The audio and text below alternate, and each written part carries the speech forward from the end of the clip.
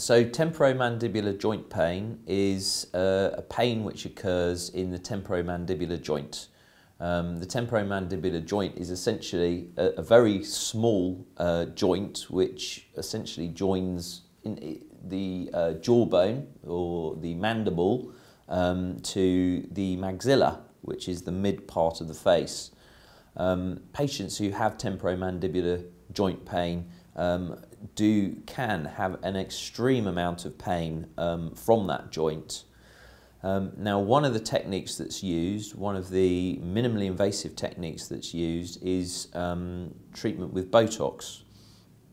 Now, what we do, there are two major muscles which are used in uh, chewing or mastication, and uh, those are the masseter muscle, which is down here on the side of the jaw, and the temporalis muscle, which is on the side of the head. Um, what we do with uh, Botox is the patient will come in, it can be done in a clinic setting, it can be done under local anaesthesia, although sedation can be given if necessary.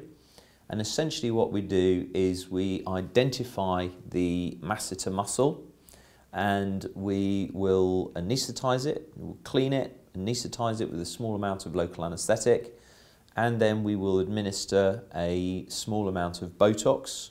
Um, usually we will use a cosmetic needle, tiny 30 gauge needle, which usually leaves virtually no mark. Um, I often do the masseter muscle and often I will put some uh, injections of Botox into the temporalis muscle as well at the top.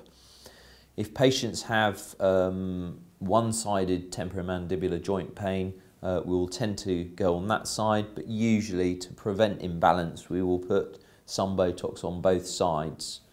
Um, as with all procedures, there are benefits and risks. Um, benefits pain relief, takes about 10 to 14 days to work, sometimes less, sometimes more. Risks, failure, local bleeding, bruising, infection, discomfort, they're all minimal.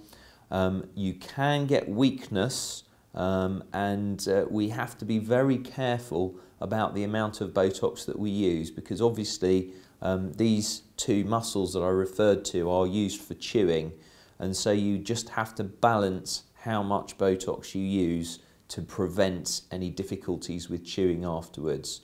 Uh, that's very important. Sometimes what uh, I will also do is at the same time I will do the Botox treatment, but I will also do an injection with a small amount of cortisone into the temporomandibular joint itself. So that's an intra-articular injection.